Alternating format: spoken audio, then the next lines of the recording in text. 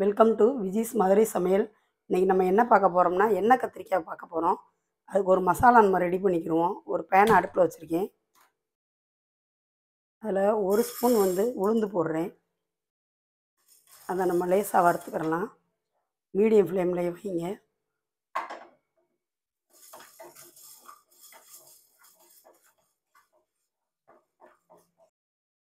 இதில் ஒரு ஒரு ஸ்பூன் வந்து மல்லி போடுறேன். காஞ்ச மல்லி அதை நம்ம சேர்த்து வறுத்துக்கலாம்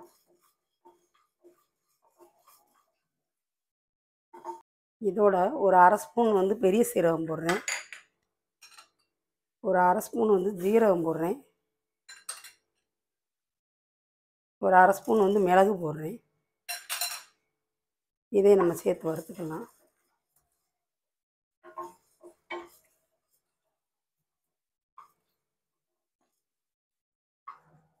ஒரு ஏழு மிளகா வத்தல் வச்சுருக்கேன். அதையும் போடுறேன்.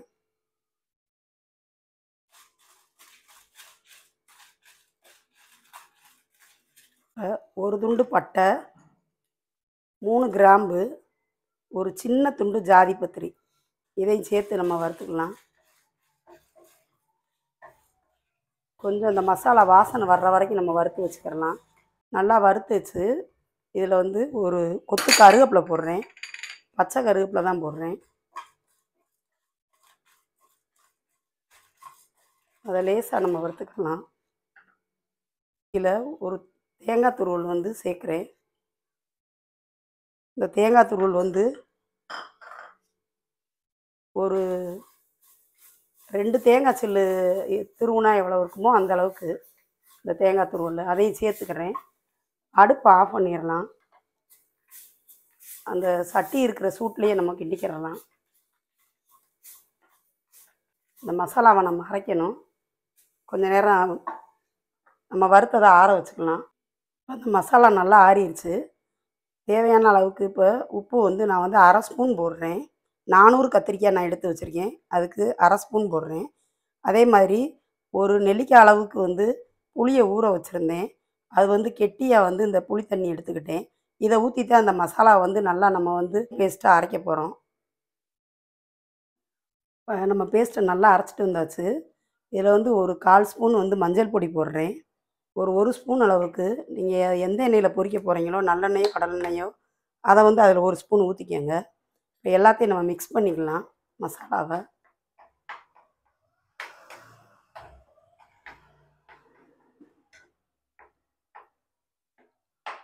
இப்போ நான் வந்து இந்த நானூறு கத்திரிக்காயும் பாருங்கள் நுனியில் மட்டும் இப்படி நறுக்கி வச்சுருக்கேன். முழுசாக தான் இருக்குது காம்போட.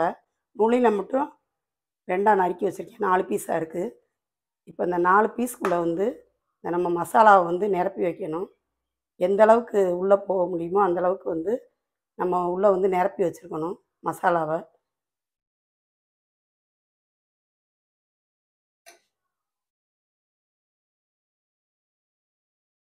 உங்களால் வைக்க முடியலன்னா கையிலேயே நல்லா வச்சிருங்க உள்ளே எந்த அளவுக்கு மசாலா ஸ்டஃப் பண்ண முடியுமோ அந்தளவுக்கு பண்ணிடுங்க எல்லா கத்திரிக்காயும் இதே மாதிரி நம்ம செஞ்சுக்கிறலாம் நான் எல்லா கத்திரிக்காயிலையுமே ஃபில் பண்ணிட்டேன். பாருங்கள் எப்படி ஃபில் பண்ணியிருக்கேன்னு. எல்லா மசாலாவும் உள்ளேயும் இருக்குது வெளியேயுமே கொஞ்சம் கொஞ்சம் இருக்குது இதோட தான் நம்ம வந்து நம்ம எண்ணெயில் போட போகிறோம் அடுத்து. சட்டியை வந்து நான் வந்து அடுப்பில் வச்சுருக்கேன். இப்போ நான் கடலை நான் சேர்த்துக்கிட்டேன். அதில் ஒரு ஒரு ஸ்பூன் வந்து கடலைப்பருப்பு போட்டுறேன் அது பொரிஞ்சுக்கிறட்டும்.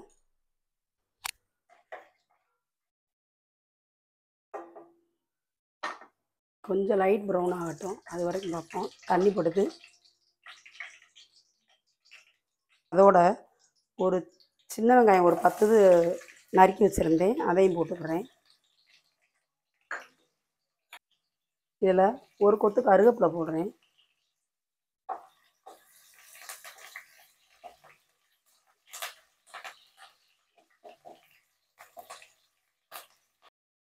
இப்போ நான் ஃபில் பண்ணி வச்சுருந்த கத்திரிக்காய் எடுத்து ஒன்று ஒன்றா சேர்க்குறேன்.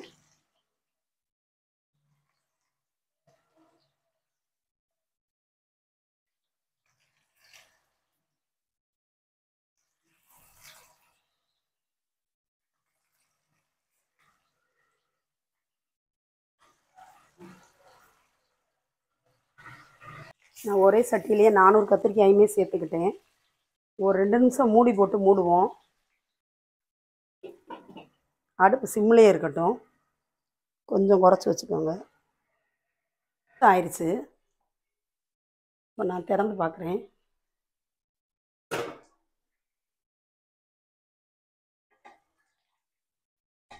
லேசாக திருப்பி விடுங்க. எல்லா கத்திரிக்காயுமே லேஸ் லேசாக திருப்பி விட்டுருங்க. அந்த எண்ணெயிலே வேகட்டும். அடுப்பு வந்து பெரிய வச்சுருந்தா வச்சிடாதீங்க. சிம்லேயே இருக்கட்டும் அடுப்பு. திருப்ப ஒரு ரெண்டு நிமிஷம் மூடி போடலாம். இப்போ மறுபடியும் ஒரு ரெண்டு நிமிஷம் ஆயிடுச்சு. இப்போ நான் மூடியை திறக்கிறேன்.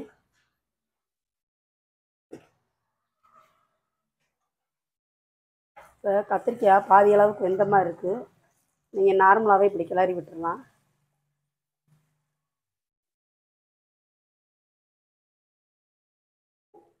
இப்போது இந்த மீதி கொஞ்சம் மசால் இருந்துச்சு தடவி வச்சது போக அது இந்த மிக்சி ஜாரில் கழுவுன தண்ணி எல்லாம் சேர்ந்து ஒரு அரை டம்ளரில் கழு அதை கரைச்சி வச்சுருக்கேன்.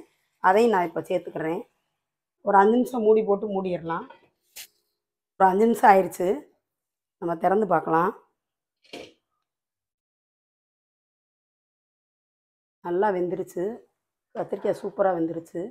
பாருங்கள் எவ்வளோ குழஞ்சிருக்குன்னு பாருங்கள் நல்லா குழஞ்சிருச்சு. நம்ம வறுத்து அரைச்ச மசாலா வாசனை சூப்பராக இருக்குது இப்போ ட்ரையாகவும் ஆயிடுச்சு அவ்வளோதான் நமக்கு எண்ணெய் கத்திரிக்காய் வந்து ரெடி ஆயிடுச்சு நம்ம ஊற்றின எண்ணெயெல்லாம் மேலாப்பில் தான் பாருங்கள் இப்படி இருக்குது நான் செஞ்சது பிடிச்சிருந்துச்சுன்னா லைக் பண்ணுங்கள் ஷேர் பண்ணுங்கள் சப்ஸ்கிரைப் பண்ணுங்கள் தேங்க்யூ